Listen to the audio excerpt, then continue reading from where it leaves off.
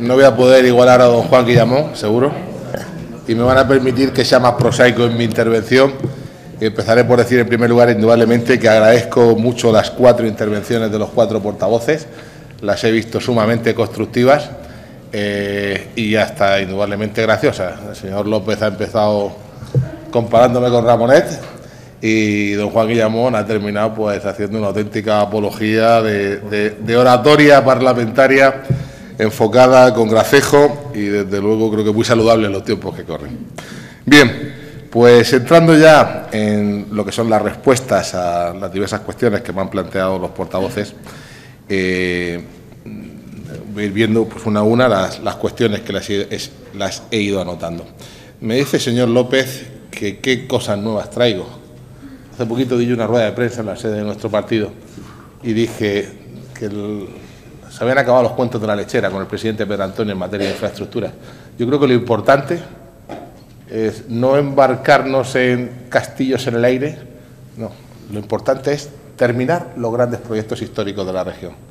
No hace falta hacer cosas nuevas desde mi punto de vista, habrá que hacer cosas en el futuro, pero antes de empezar nuevas aventuras vamos a traer el AVE, vamos a arreglar camarillas, vamos a ir al aeropuerto, vamos a terminar esas autovías, vamos a regenerar por más, vamos a hacer tantas y tantas cosas que hay pendientes, que eso es, desde mi punto de vista, lo fundamental. No quiero descubrir la pólvora, no, me conformo con que la mecha prenda cuando la encendamos y lleguemos a buen puerto con estas cuestiones.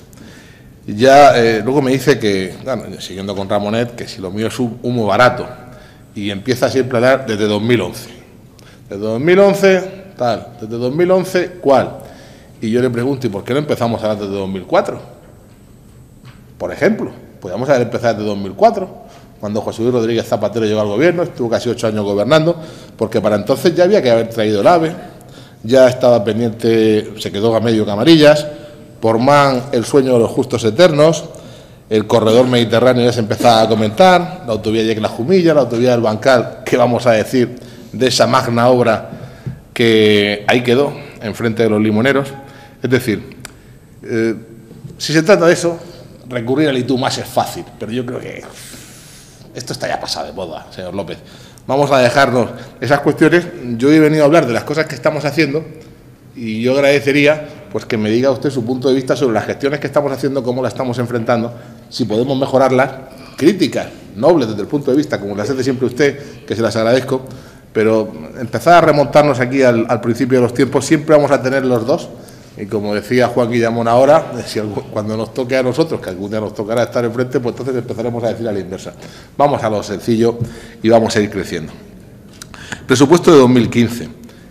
Eh, tiene 137 millones de euros la Consejería de Fomento. En el de 2016 la previsión es de 165 millones de euros. Sube casi 30 millones. ¿Por qué? Pues porque tenemos que hacer unas aportaciones extraordinarias en el tema del AVE. 23 millones de euros hay que poner encima de la mesa para que llegue el AVE soterrado. Santiago el Mayor y Senda de los Garres.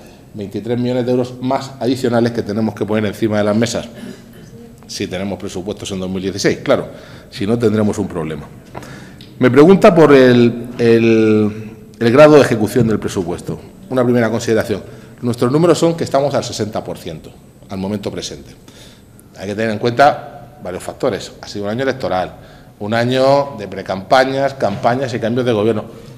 Meses, esos, en los que todos sabemos pues, que la licitación de obra pública pues queda bastante parada, por no decir paralizada por completo, a expensas de saber cuáles van a ser los eh, gestores que asuman las, los diversos departamentos.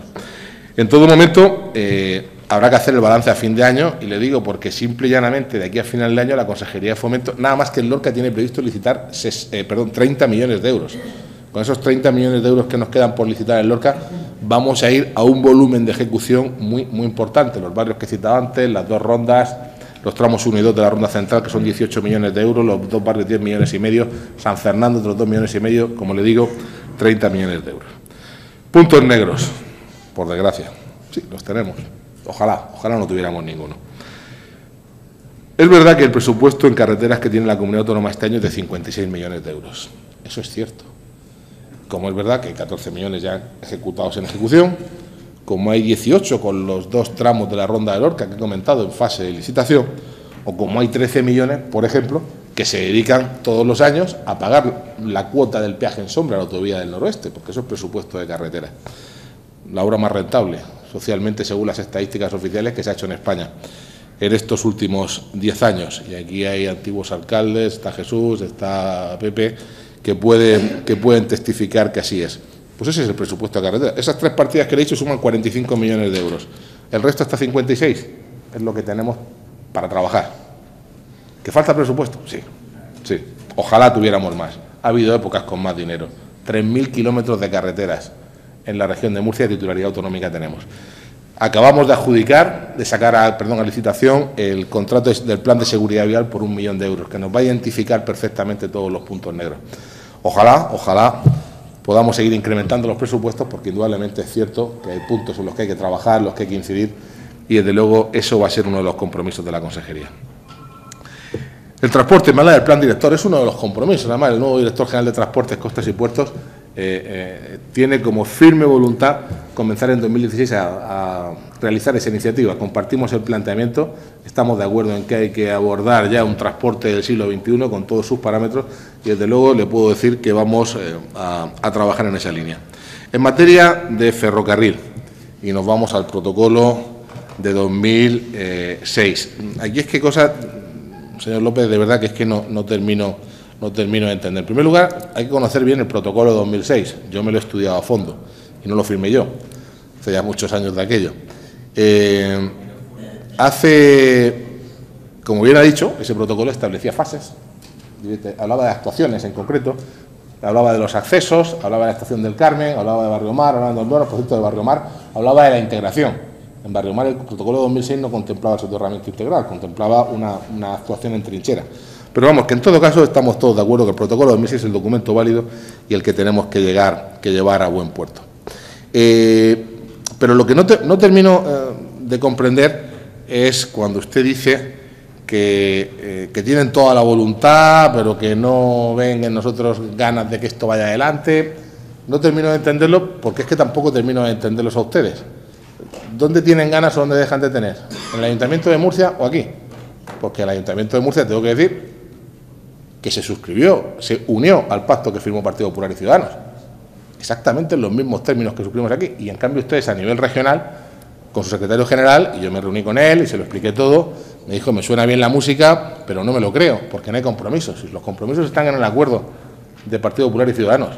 Si las previsiones presupuestarias del Gobierno de la región de Murcia están en el proyecto de presupuestos, esos 10 millones para esa zona de Santiago del Mayor, perdón, de Senda del Hogar, Santiago del Mayor son 13 millones de euros. Están los compromisos. Ahora, rememos todos juntos. Si firma el presidente de la comunidad autónoma, duda alguien de que no va a estar ese dinero en los presupuestos de la comunidad autónoma, pues claro que va a estar. Y el alcalde de Ballesta ha dicho otro tanto que va a hacer el ayuntamiento. Y estamos a la espera de la reunión del Consejo de Administración de Murcia Alta Velocidad para que también surja por escrito el compromiso del Ministerio de Fomento. Y por último, me comentaba el tema del informe de la abogacía del Estado. Vamos a ver, el, el, Ministerio le ha desestimado al fiscal, al Ministerio Público, su recurso de reposición con base en ese informe de la abogacía del Estado. Fiscalía, indudablemente, lo tiene su poder. Yo no soy parte, a mí no me han entregado ese informe, pero, según me han informado, ese informe existe y la abogada del Estado ha dado sus consideraciones en virtud de las cuales ha considerado oportuno desestimar el recurso del fiscal y ahora el fiscal será el que decida si plantea o no plantea el contencioso administrativo oportuno ante la Audiencia Nacional. En todo caso, siempre pleno respeto a las decisiones de los jueces. Los fiscales son una parte, igual que los abogados. Los jueces estamos hablando del ámbito contencioso administrativo, no del ámbito penal, que nadie se confunda. No hablamos de ilícitos penales, no hablamos de delinquir. Estamos hablando de una interpretación de si procede o no procede aplicar una determinada disposición en este caso concreto. Seguimos con el tema de vivienda. Me, habla de la planificación de vivienda.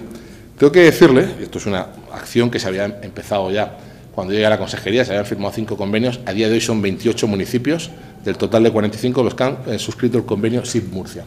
SID Murcia es el sistema de identificación de vivienda, es una acción que hemos promovido desde la Consejería de Fomento a instancias de los promotores, precisamente, a la de promotores inmobiliarios y de los constructores, para identificar cuál es el parque inmobiliario real ocupado en la región de Murcia, es decir, dónde hay casas vacías y dónde no, con una herramienta muy sencilla, dónde hay consumos de agua. El ayuntamiento, a través de sus compañías suministradoras de agua, sabe qué viviendas tienen o no tienen consumo, nos facilita esos datos, por supuesto, con el tema de la protección de datos por encima de todo, no se trata de identificar personas, pero sí los inmuebles que tienen un consumo de agua, porque una casa que pueda estar en la manga del Mar Menor y que parece que está desocupada, si se abre un mes o dos meses al año no es una casa desocupada, es una segunda residencia. Y hay que distinguir perfectamente una cuestión de la otra. Y esa herramienta con la que estamos trabajando y que faltan 17 municipios y, pido a todos mm, los miembros de la Cámara que a nuestras respectivas fuerzas políticas de los ayuntamientos les pidamos, por favor, que a ver si terminamos de firmar esos convenios, que no es tan difícil, no tiene ningún coste para los ayuntamientos, pues se puedan, se puedan adherir. Eso nos va a decir de verdad dónde están todas las viviendas ocupadas, dónde hay zonas con viviendas vacías, dónde hay necesidades de nuevas promociones, dónde es absolutamente innecesario y tendremos ese mapa sobre el que queremos trabajar. El registro de demandantes de vivienda protegida es una de las eh, eh, eh, cuestiones que contempla la ley del suelo, perdón, la ley de vivienda de la región de Murcia de modo expreso y se va a poner en marcha en colaboración con los ayuntamientos, porque se crea a nivel municipal para darnos los datos a la Administración regional. El presupuesto, ya lo he comentado antes, en materia de vivienda, asciende a 20 millones de euros para 2016 en cada uno de los programas que se plantean. Y luego, bueno, pues usted habla de, mm, otra vez, a ver quién es el más guapo, el servicio de orientación hipotecaria, que si fue iniciativa de ustedes, a mí me dicen que fue iniciativa del Partido Popular, que ustedes fueron a la primera reunión y no aparecieron en ninguna más, en todo caso, sigo diciendo, creo que son cuestiones espurias por completo. La propuesta de reforma del impuesto de transmisiones patrimoniales de estos jurídicos documentados. Yo no le voy a decir que no sea una cuestión a plantear y a estudiar creo que es verdad que, puede tener su lógica lo que usted ha dicho. Partido Popular se ha traído a la Cámara, el Consejo de Gobierno se aprobó ya la bajada del impuesto de sucesiones y donaciones, pues tal vez sea una de las medidas que hay que plantear, hay que estudiar. No conozco en profundidad cuáles serían las connotaciones, pero todo lo que sea estimular el mercado, bueno, estoy de acuerdo con usted y desde luego creo que merece la pena por lo menos que lo estudiemos. ¿Cómo está evolucionando el tema de los desahucios? Según los datos que tenemos en el Servicio de Orientación e Intermediación Hipotecaria, está bajando cada año el tema, afortunadamente, afortunadamente. Nosotros hemos pasado en estos tres últimos años, en 2013 la media de consultas eh, mensuales era de 28, 2014 eran 22 y este año estamos en torno a las 15-16 mensuales. Afortunadamente, afortunadamente las personas con problemas hipotecarios son cada vez menos en la región. Probablemente mientras existan, pues tendremos que seguir peleando. Y el, respecto a lo que me planteaba el Orca, de que si el Estado, que si no veía interés real en que el Gobierno de España actuara y demás, yo le voy a dar simplemente unos datos que creo que hablan por sí solos. En la última reunión de la Comisión Interministerial, eh, tuvieron honor de asistir esta pasada primavera en Madrid, Ahí se acreditó que el Estado llevaba invertidos desde 2011 hasta 2015 en Lorca 700 millones de euros. 700. Que es los presupuestos de este año había 110 millones de euros más, a través de todos los organismos del Estado, encima de la mesa. Estábamos hablando de 800 millones de euros para estar eh, cumplimentados a finales de, este año. La inversión total prevista para Lorca, con las aportaciones que vamos a hacer de la comunidad autónoma, es mil millones de euros. yo creo que de verdad que el Estado sí está actuando, sí está respondiendo. Nos gustaría a todos más celeridad, no vamos a negar lo obvio, en el pago de las eh, ayudas que se van aprobando, pero lo cierto y verdad es que se está respondiendo. Y la pregunta de San Javier, y ya aprovecho porque me la han, me han comentado desde el aeropuerto de San Javier todos los portavoces, les diré, como todos ustedes saben, hay una propuesta de convenio, bueno, se firmó en el año 2011 un convenio entre el entonces secretario de Estado, del gobierno del señor Zapatero, y el entonces consejero Antonio Sevilla, que fijaba la obligatoriedad del cierre del aeropuerto de San Javier una vez que abriera el aeropuerto de Corbera. Posteriormente, verano del 14, fue refrendada esa cuestión por el secretario de Estado en un comunicado dirigido a la Comunidad Autónoma de Región de Murcia y actualmente estamos trabajando en cerrar definitivamente el texto de ese convenio. Texto que incluirá la obligación de cerrar San Javier en el momento en el que abra Corbera, el pago de la indemnización que habrá que hacer frente por las inversiones que AENA ha hecho en el aeropuerto de San Javier, el plazo en el que se va a llevar a cabo el cierre del aeropuerto de San Javier desde que abra Corbera, con el traspaso de las operaciones de vuelo, y, por supuesto, la garantía de que aquellos trabajadores de AENA que así lo deseen, que trabajen en San Javier y que deseen incorporarse al nuevo aeródromo, se, eh, podrán realizarlo respetando íntegramente todos sus derechos laborales, retribuciones, antigüedad, etcétera, etcétera, etcétera. Esos son los compromisos que están encima de la mesa. Ese es el principio de acuerdo que existe con el Ministerio de Fomento. Hay muchas cuestiones de índole estrictamente jurídica que se están terminando de perfilar, pero mm, creo, eh, soy optimista de que podremos también cerrarlo pronto. Y luego, eh, también cuestión que han planteado usted y el señor Pedreño, y aprovecho ya pues para eh, enlazar con el tema, la situación del urbanismo, me hablaba del Plan General de Aledo, el Plan General de Puerto Lumbreras, y el señor Pedreño ya pues hablaba de la anulación de los planes generales, eh, qué iba a pasar con todas estas cuestiones y demás. Vamos a ver, cuestión general porque, y joven futura, porque hay cuestiones que son unas por unos motivos, otras por otros, el tema de los suministros de agua, sentencia, eh, que el informe de la Confederación Hidrográfica del Segura, si se podía eh, sustituir por el tema de los suministros de aguas a través de las desaladoras escombreras, que estaba ahí todo centrado. Están saliendo unas sentencias que dicen que efectivamente eso no podía ser así y actualmente está siendo, tanto por los ayuntamientos implicados como por los servicios jurídicos de la Consejería, está siendo objeto de análisis esa, sentencia para ver si es como usted está comentando, señor Pedreño, o no y no voy a ser yo el que interfiera lo más mínimo en esa cuestión, porque es un tema muy delicado, eh, que tal vez haya que pedir eh, eh, al juzgado que opine en ejecución de sentencia sobre cómo debe interpretarse.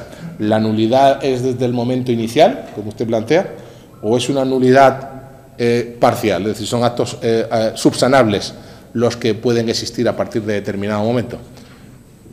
Opiniones en técnica jurídica urbanística, hay muchas no me puedo pronunciar, no me voy a pronunciar, sería una salida por mi parte cuando es un tema que está en discusión, pero sí le puedo decir que desde luego se está trabajando y que se va a adoptar una, una solución absolutamente legal, faltaría más. Aquí también tengamos en cuenta una cuestión, hay derechos de terceros absolutamente de buena fe que no tienen aquí ningún tipo de culpa, que han adquirido sus viviendas eh, bajo una apariencia de buen derecho, que están pagando sus hipotecas, su IBI, su luz, su agua, y que también habrá que pensar en ellos. Porque eh, hay que, por supuesto, insisto, siempre dentro de la legalidad, pero hay que tener en cuenta pues, las situaciones de miles de personas que se pueden ver afectadas por esta situación y buscar una solución, insisto, que sea eh, válida legalmente y que eh, no perjudique a nadie o lo deje en situación irregular después del esfuerzo que supone para todos nosotros pues, pagar lo que es la hipoteca de nuestras viviendas. También me comentaba el tema del teletransporte, hace referencia a la sentencia del TSJ de 2011. Igual que existe esa sentencia diciendo eso, sabe usted igualmente que existen otras muchas diciendo lo contrario, es decir, validando lo que usted llama teletransporte, lo que eh, técnica jurídica urbanística se llama la, eh, la adscripción de sistemas generales. Mm, otro tema discutible, yo he tenido experiencia profesional en el urbanismo y, verdaderamente eh, es que son cuestiones complejas de, procedimiento administrativo, de, cuestión de urbanismo de fondo, que es complicado darles una solución. Nosotros, ¿por qué optamos hace unos meses? Pues por validarlas. La ley del sur de la región de Murcia contempla válida los sistemas generales adscritos. Por un razonamiento, ¿por qué un municipio no tiene derecho a poseer, a ser propietario de un espacio protegido? ¿Por qué no? Es que estaríamos prohibiendo, eh, vedando esa posibilidad, porque un municipio, mm, si tiene un, parque regional en su territorio, no dice, oye, me interesa adquirir eso y habilitarlo con senderos verdes, con rutas para ir fruto de mi ciudadano, y no pues que pudiera estar prohibida la entrada, que puede ser perfectamente si es una propiedad privada, y demás. Hemos preferido optar por la libertad de elección que por supuesto con todas las justificaciones habidas y por haber, faltaría más. Esto no es un cajón desastre, sino que tiene que estar suficientemente acreditado y documentado con los informes de los técnicos municipales, pues que los ayuntamientos pues, puedan tener esa opción. Y creo que los temas urbanísticos que me estaba comentando se los he dejado eh, resueltos. Luego me hablaba de, política pública de vivienda. Hay que distinguir dos cuestiones. Uno, lo que es las las viviendas de promoción privada y protección pública, yo creo que son las viviendas de promoción pública directamente. Eh, creo que usted ha mezclado un poco datos de unas y otras, pero son dos cuestiones indudablemente diferentes. Las nuestras, las de protección pública, pues son las que eh, he comentado antes. Hemos estado cuatro años sin hacer una casa. Y ahora hemos empezado cinco en el Valle de Ricote, en Ojos, que indudablemente nos gustaría haber hecho más. Sí, sí, pues seguro, que mis antecesores en la consejería, pero si no, tenían, si no tenían disponibilidad presupuestaria, pues era complicado. Y que hay que volver a intentar tener un parque, el parque regional actual está por las 2.900 viviendas, el parque público, de viviendas protegidas en nuestro poder, que están, por supuesto, destinadas a alquiler social de las personas que así lo necesitan.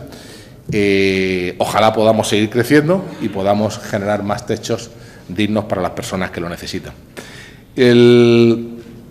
para el resto de políticas de vivienda, pues vuelvo a insistir, estamos hablando de 20 millones de euros para este próximo año, pues para desarrollarlas todas. Eh, ha comentado también que el Instituto de Vivienda y Suelo eh, sigue teniendo su staff, etcétera. El Instituto de Vivienda y Suelo dejó de existir hace años, igual que la entidad pública del transporte. Se acordó su disolución y fueron adscritos unos, los últimos, por la Dirección General de Transportes y los otros por la Dirección General de Ordenación del Territorio, Arquitectura y Vivienda. Digo para, para su conocimiento y no hay un director general de cada una de esas áreas y punto. Y ya el esquema normal de sus directores. Luego habla también de descalificar la vivienda protegida para calificarla como libre, casos de joven futura y demás. Yo creo que las generalizaciones son peligrosas en estos casos. En Joven Futura viven unas 1.500 familias, si no recuerdo mal. Eh, la inmensa mayoría, pues, personas muy normales como todos nosotros, familias generalmente jóvenes, que, que, insiste, a los que les afectaba esto. Pues que no digo que no haya alguien que a lo mejor ha pretendido hacer algún tipo de operación extraña, eso no lo sé, pero creo que la, que la mayoría de los ciudadanos, eh, cuando adquieren una vivienda protegida, lo hacen porque están en unas condiciones económicas que se controlan, con unos ingresos X, eh, que hacen que se justifique que se les bonifiquen esos préstamos y que puedan seguir adelante con sus adquisiciones. Y, en el tema de los desahucios, eh, dos, tres consideraciones. Lo primero, nosotros no tenemos varitas mágicas. Aquí hay un Estado de Derecho, hay una ley hipotecaria que nos guste más o nos guste menos, es la que es y establece pues unas situaciones jurídicas en las que se establece que los derechos reales tienen prevalencia sobre eh, otro tipo de consideraciones. Pero a mí sí me gustaría, eh, cuando se hacen estos planteamientos, les he dicho antes, y es cierto, que este verano se nos llamó desde el Ayuntamiento de Madrid para pedirnos la información, es cierto, y luego se ha hecho exactamente lo mismo de aquí. Pero usted conocerá, porque bueno, forma parte de su ideología política, Marta Higueras, que es la concejal de área de Ahora Madrid, responsable del área de gobierno de equidad, derechos sociales y empleo del Ayuntamiento de la capital. Pues esto es lo que dice ella. No podemos parar los desahucios. Estas son declaraciones en El Economista, ¿eh? que no parece que sea un periódico muy tendencioso. Nosotros no podemos parar los desahucios porque no se pueden parar. Buscaremos soluciones habitacionales para estas familias, buscaremos ayudas. Si hay un juez que te dice que hay que desalojar, hay que desalojar. Lo que vamos a hacer es paliar esas situaciones, la gente sabrá dónde llamar, qué hacer, van a tener cercanía. Eso es lo que estamos haciendo en la región de Murcia. Así de sencillo. ¿Que nos gustaría hacer más? Sí, a todos. Pero aquí no se le desgarra la carne cuando ve una de esas situaciones tan indeseables de, personas ancianos con una pensión, con una pensión de, familias sin ingresos que, los, se quedan en la calle. Pues a todos, por supuesto. Pero los jueces, que también son personas como nosotros, tienen la obligación de aplicar la ley y los poderes públicos de que se ejecuten las sentencias de los jueces. Y esa es la realidad, señor Pedreño, nos guste más o nos guste menos, e indudablemente nos gusta menos, pero es lo que tenemos delante de nosotros. Y cuando me comentaba de modificar la ley de vivienda de la región de Murcia, eh, si es que el problema es que luego llegan los jueces y nos ponen en nuestro sitio. ¿Qué, ¿Qué, pasó con la ley andaluza de vivienda? Pues declarada nula por el Tribunal Constitucional. Porque se metían cuestiones que no se podía entrar. Si es que es así de sencillo. O se promueve una modificación de la ley hipotecaria en el Parlamento de la Nación. Para todos. O todo lo más que hagamos es en el ámbito del voluntarismo, del pacto, del llegar al acuerdo con las entidades acreedoras. Porque si no, mientras tanto, la sartén la tienen ellos por el mango porque así está establecido nuestro sistema jurídico y desde luego pues esas son las cuestiones como se dilucidan en un Estado democrático y de derecho. Y para terminar con las cuestiones de transporte, me pregunta por la planificación ferroviaria, las líneas de cercanías, vaya por delante el total compromiso de que hay que luchar por ellas y también que sepamos que es una política estatal. Me pregunta si nosotros vamos a poner en marcha un tren de cercanías. Los ferrocarriles todavía no han sido transferidos a las comunidades autónomas y esto es una cuestión que hay que pelear siempre en Madrid. Sí quiero llamarle la atención, recordarle que en el año 2012 la línea Lorca-Águilas fue declarada por el Gobierno de España como de obligación de servicio público, es decir, eh, está garantizado que esa línea existe, subsiste y que se mantiene. La línea con Alicante tiene un volumen de viajeros muy alto y esto está más que garantizada su persistencia en el tiempo, por, bueno, pues porque efectivamente es una línea eh, que es rentable. lo que comentaba, coordinación de transporte es una estación intermodal en Murcia. Podemos enlazarlo con lo que comentaba con el señor López. Hay que planificar, hay que rediseñar el mapa eh, del transporte público regional y para eso hay que hacer ese plan director que nos diga bien dónde tenemos que actuar, dónde podemos, eh, dónde podemos incidir. No le digo que no lleve usted su parte de razón, pero habrá que ponerse en manos de profesionales que estudien bien la situación y que nos puedan orientar. Y el FEBE, que efectivamente pues tiene muchos recuerdos para mí, porque he viajado muchísimas veces en él desde mi casa de la Unión, mi casa de los nietos, y de vuelta en infinidad de ocasiones, y a Cartagena también, pues, eh, ¿qué me gustaría a mí? A mí sí me gustaría que se extendiera, sí, 100%. Lo he dicho siempre, ¿eh? alcalde de la Unión, siendo ya consejero hace unos meses, vine a ver al gerente a informarme de la de la línea, ojalá, ojalá se pudiera extender. Eh, hay un problema, la línea es muy deficitaria, como todas las de FEBE, las pocas que quedan de FEBE en España, pero es verdad que la línea tiene un déficit importante. Pero ha dicho usted una cuestión que, mire, mm, la considero interesante, lo del tema de la reserva de suelo. No le pongamos mm, puertas al campo. Una de las mm, acciones que se quiere promover por el Gobierno regional, este, es una de las medidas que se contemplan en el Libro Blanco de la Construcción y en la Ley del Suelo, es la de promover unas directrices territoriales con carácter regional, que es una cosa que no se ha hecho nunca. Es decir, que en el mapa de la región dibujemos dónde queremos que estén las grandes manchas de los transportes, de las comunicaciones, de los desarrollos, de las protecciones, para que no mm, sea voluntad de cada municipio el por aquí sí, por aquí no. Es una propuesta que ha surgido de los colegios de arquitectos, de ingenieros, etcétera, que la vemos muy razonable y en la que queremos trabajar en estos próximos tiempos. Tal vez esa sea una buena herramienta para hacer esas previsiones. Me parece bien porque ¿Por qué vamos a decir que no? Algo que indudablemente sería positivo para la comunicación de toda la comarca y, desde luego, por toda la zona del Mar Menor. la fractura del tren en Murcia. Bueno, Murcia lleva fracturada 155 años. Desde que, Isabel II vino a inaugurar la estación del Carmen prácticamente, pues ahí tenemos la línea. Le digo lo mismo que al señor López. Las garantías son cuando se firma un documento firma el presidente de una comunidad autónoma. No puede haber más duda que esa. Si el presidente dice que va a haber dinero en los presupuestos, hay dinero en los presupuestos. Y no hay más vuelta atrás ni más vuelta de hoja. El AVE tiene que entrar a Murcia soterrado y va a entrar soterrado porque ese es el compromiso que hemos suscrito. Ah, y me preguntaba por la extensión de la catenaria No Duermas. Eh, antes de ayer, si no recuerdo mal, si efectivamente antes de ayer, pedí, cuando vimos la, noticia publicada en medios, redes sociales, al Ministerio que nos confirmaran las ideas que teníamos nosotros al respecto. Y es la siguiente. los trenes AVE, en todos los lugares, la estación, estaciones término, como es Murcia, su día será Cartagena, pero iba a ser Murcia, necesitan unos espacios para sus eh, mantenimientos, repostajes, avituallamientos, limpieza, etcétera. Una, zona de mantenimiento a nivel general. En la estación del Carmen no existe espacio para eso, no existen los andenes previstos. Y la previsión es que esté 5 kilómetros más arriba esa estación de mantenimiento en Non-Duermas. Para eso hace falta extender la catenaria, lógicamente, para que el AVE, con su sistema de electrificación, llegue hasta ese lugar. Y decimos todos, hasta ilógico. ¿Y esto cómo se compatibiliza con el soterramiento? Bueno, tenemos la respuesta oficial del Ministerio que nos dice que indudablemente es una acción provisional y que eh, la, vía desaparecerá una vez que se lleve a cabo el soterramiento de la zona Barrio Mar más la zona Non Duermas.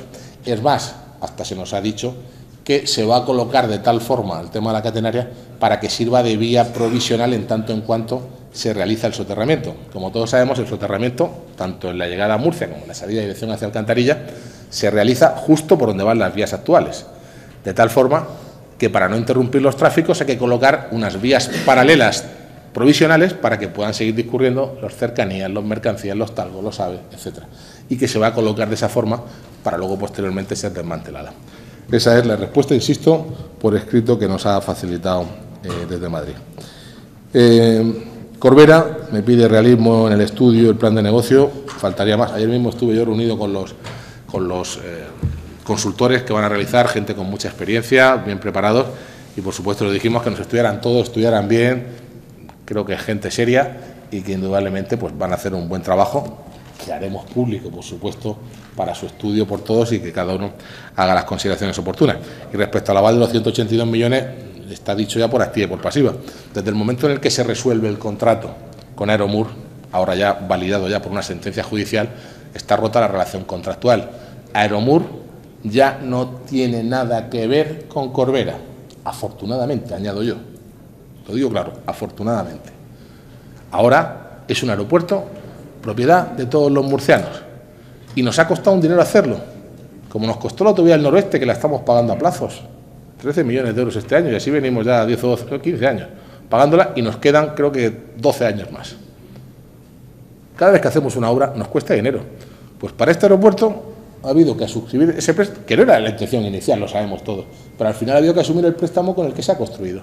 ¿Cómo se piensa recuperar? Vía el canon que pague la futura empresa concesionaria, faltaría más. El plan de negocio tiene que prever cuál es el tiempo de amortización y las cantidades que deberán ser abonadas a la comunidad autónoma para que se resarza esa inversión. Y ya para no concluir, no, no me queda, señor Guillamón, don, Luis Fernández, eh, creo que tenemos una gran coincidencia en muchos de los puntos eh, al escuchar sus, eh, sus palabras. Me pide algo que somos nosotros los primeros interesados, el cumplimiento del acuerdo de 24 de septiembre, faltaría más. Y así, sin duda alguna, va a ser, señor Fernández. pero fíjese, simplemente le pongo un ejemplo. El acuerdo lo firmamos hace cuatro semanas. Cuatro. El alcalde de Cartagena se quejaba ayer en los medios de comunicación de que lleva meses pidiendo la convocatoria de Cartagena alta velocidad y todavía no lo han hecho. Las dinámicas de Madrid son distintas a las nuestras. Madrid mira para toda España, nosotros es nuestro problema, pero para ellos es pues, pues, pues, otra cosa más que hay ahí. Y es cierto que el alcalde de Cartagena lo pidió en julio, yo también pedí que se convocara Cartagena alta velocidad en julio y estamos en octubre y todavía no se ha convocado. Pero insisto, va a ser pronto y no tengo ninguna duda al respecto. Eh, no dude que cuando consigamos estos hitos va a seguir quedando mucho trabajo pendiente y lo he puesto en la parte final de mi intervención, pero mucho, ¿eh? porque no hace falta hacer proyectos nuevos, como ha dicho el señor López, si con lo que tenemos arrastrado creo que tenemos bastante para lograr esas infraestructuras del siglo XXI que todos queremos. Eh, le digo, cuando comentaba el tema de la especulación en VPO, lo mismo que he comentado ahora, ahora mismo, y también recalco lo que he dicho anteriormente, no caer en los errores del pasado. Se han cometido, los hemos identificado, sabemos cuáles son.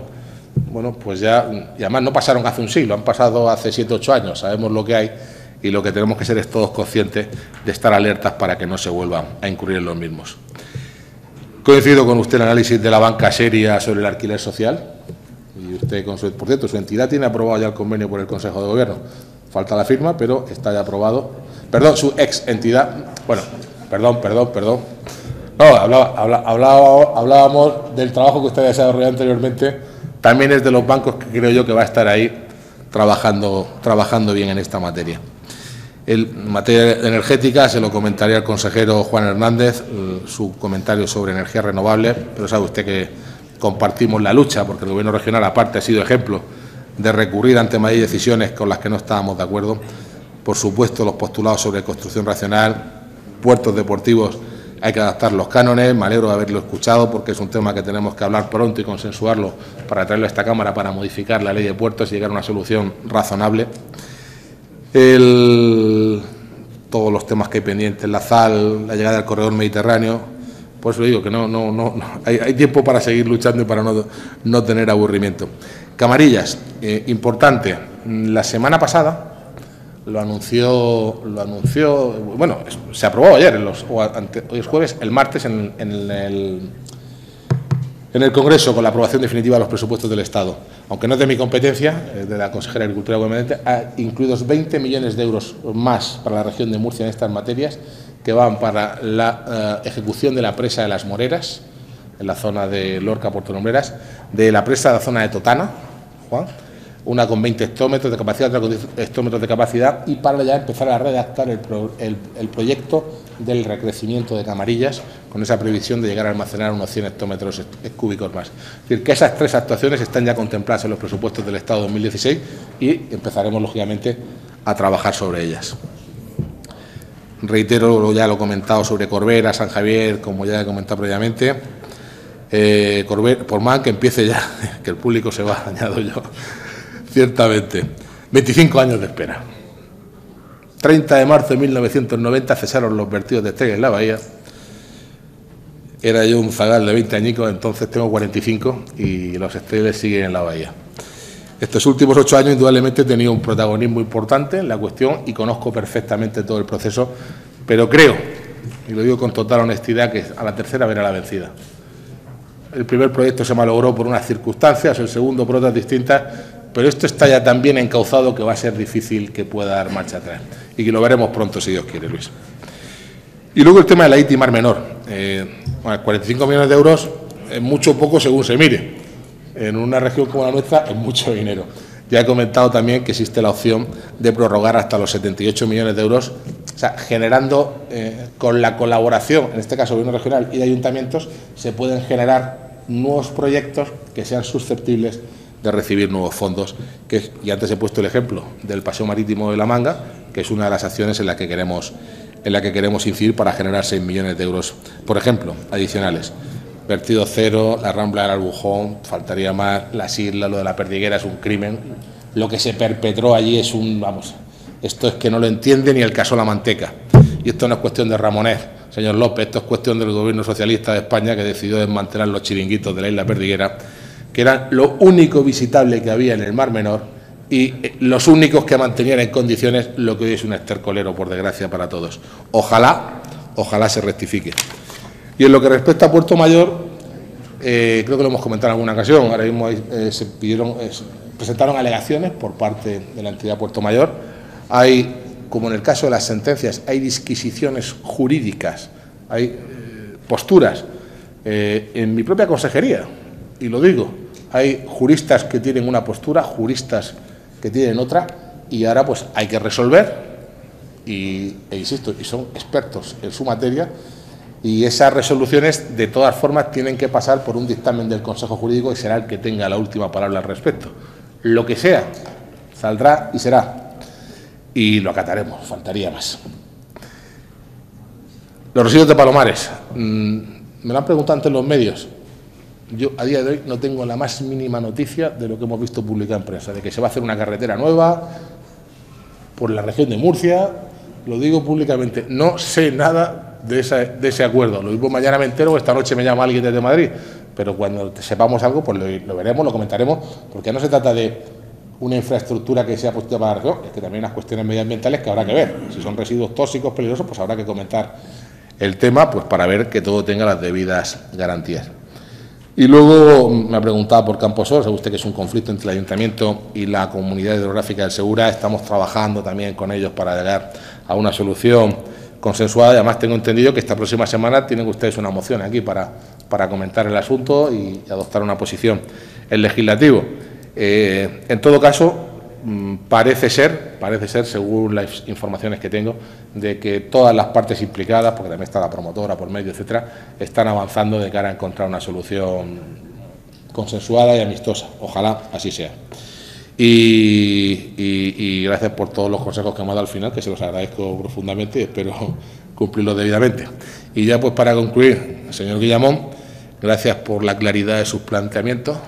De largo es usted el que mayores conocimientos atesora de todos los que nos hemos subido aquí esta tarde, porque si no recuerdo mal, dos somos jurídicos y dos son economistas, y usted me parece que es como ingeniero y decano que ha sido en colegio de su profesión, pues que le avalan su, saber y su, y su experiencia en toda esta materia. Y luego, por supuesto, gracias por la simpatía y la frescura de su intervención, que ha contribuido mucho a elevar el tono de la tarde. Gracias. Muchas